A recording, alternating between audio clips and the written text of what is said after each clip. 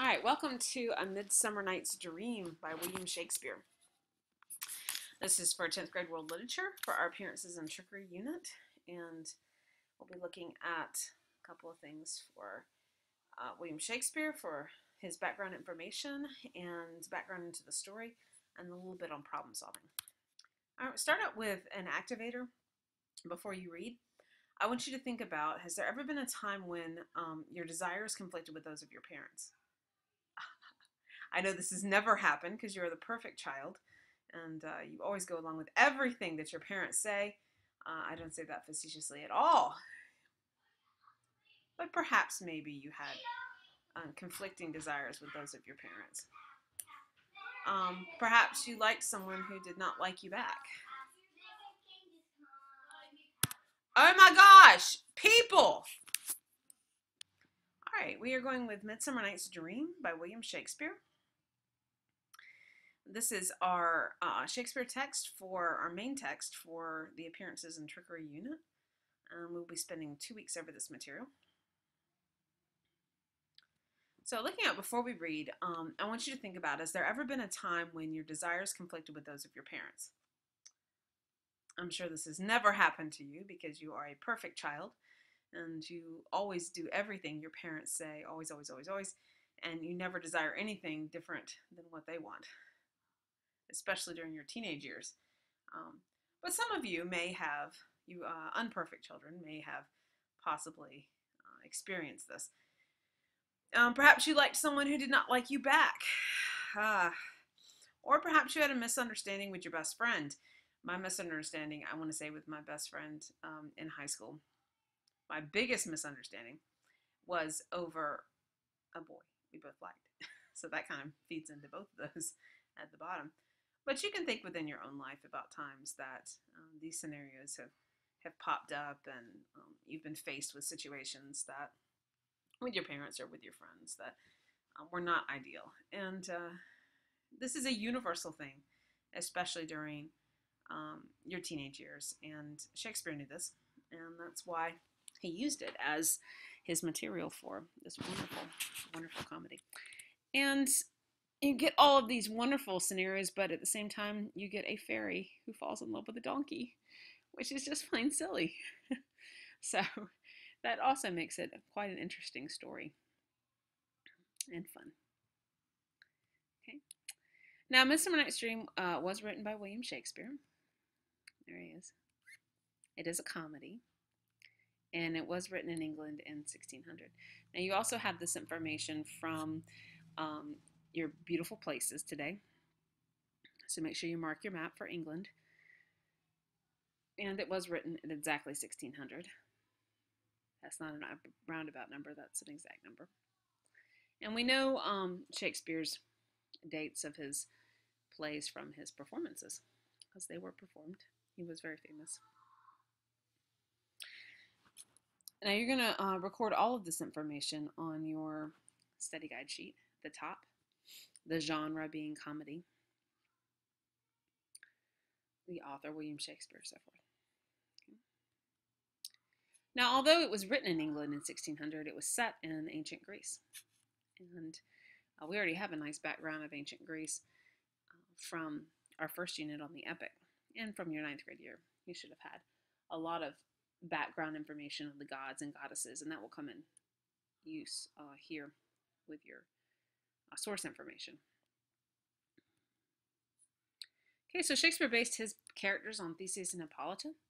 That's Greek mythology. We talked about uh, Daedalus and Icarus and the um, great architect in his uh, labyrinth with the Minotaur. You had Theseus. Oh, excuse me. Um, I apologize. That was Perseus. Oh, bad reference. I have edited that out. Theseus was the national hero of Athens. Excuse me. No, it is Theseus. I'm getting my heroes mixed up. He slayed the Minotaur. And you have uh, Hippolyta, queen of the Amazons. This was a whole race of warrior women. So there they are there, looking very warrior-like. Actually, in the middle, she looks very much like uh, Wonder Woman in that picture. She is the queen of the Amazons. But they had a great battle, and Hippolyta uh, was taken prisoner by Theseus because Theseus won. And he decided that since he won, he was going to just marry her. So they get married. And as the play opens, they are planning their wedding feast. How they're going to get married.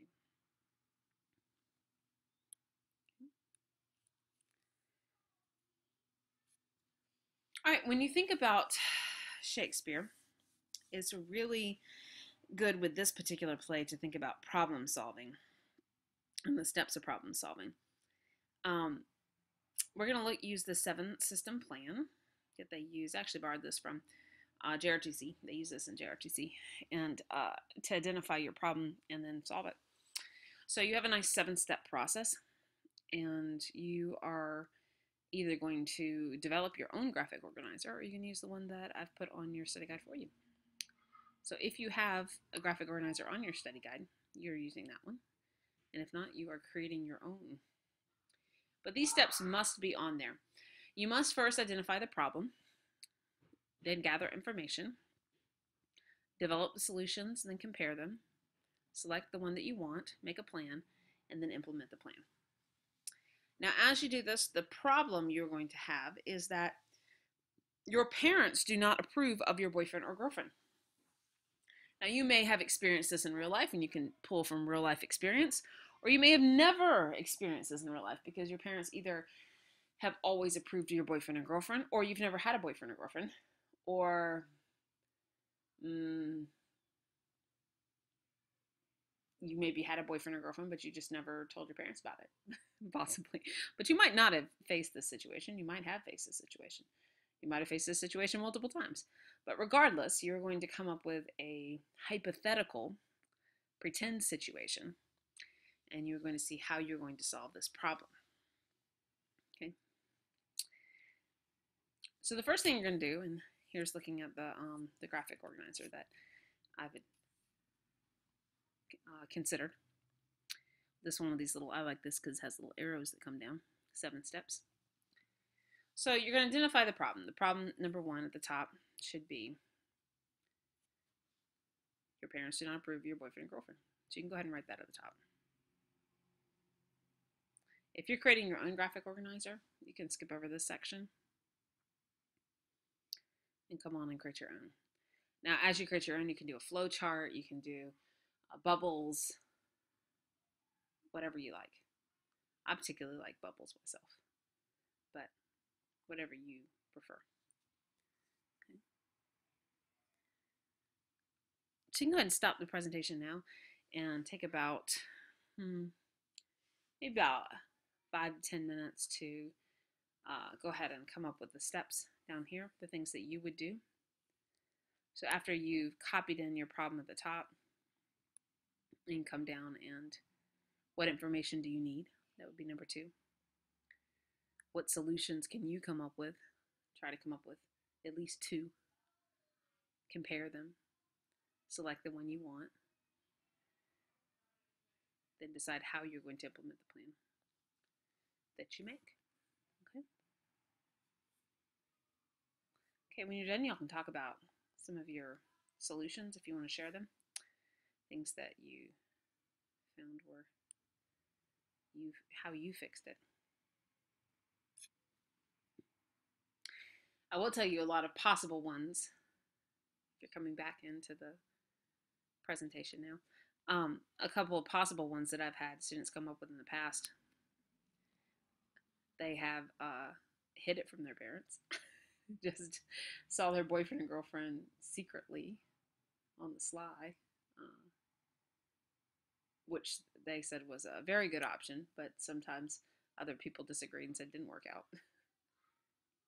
or um, some interesting ones I've heard are they invited their girlfriend to dinner and met the parents, and they all sat down and had a good talk about it, and that worked out, um, so forth. So, whatever you come up with, rather interesting. But the reason why I did this is because I really want to look at the um, this problem solution situation in Midsummer Night's Dream. you have these four lovers Hermia, Helena, Demetrius, and Lysander. And they are all mixed up in love. They all have the wrong love, so forth. And as they are fighting with one another and so forth, you have parents that come into the situation. Egeus, you have, he takes it to the higher authority, which is Theseus, the governor, the uh, duke, the leader of the city.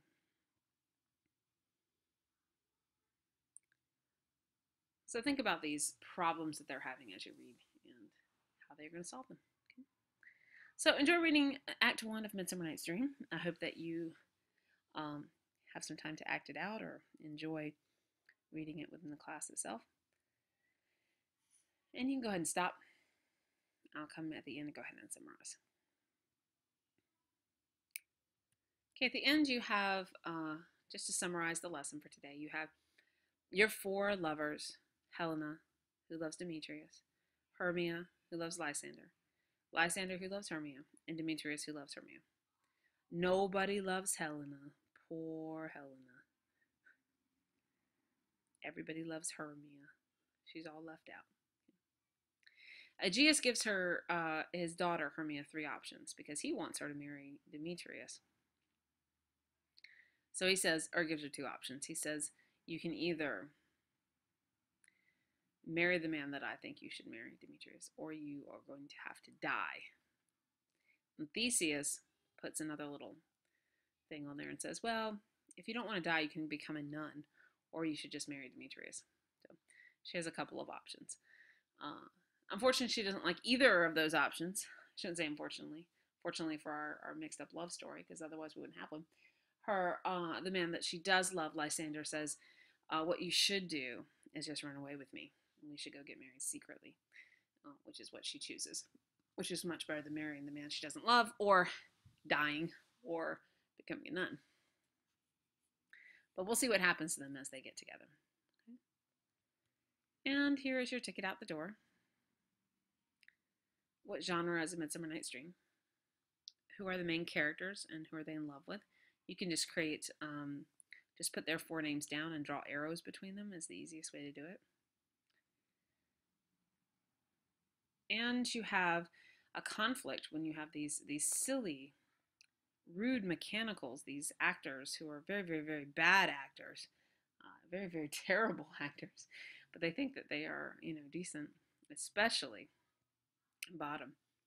But they have a problem, and the problem is that um, the leader of the band, Peter Quince, needs to assign all the parts, but Bottom wants to play everybody. He says, Oh, let me play the lion. Oh, let me play Thisbe. He's assigned Pyramus, but he wants to play everybody because he thinks he's the greatest actor in the world. So, how does um, Quince solve this problem? Use your graphic organizer that you created to make that seven step process. Okay, And that concludes today's lesson.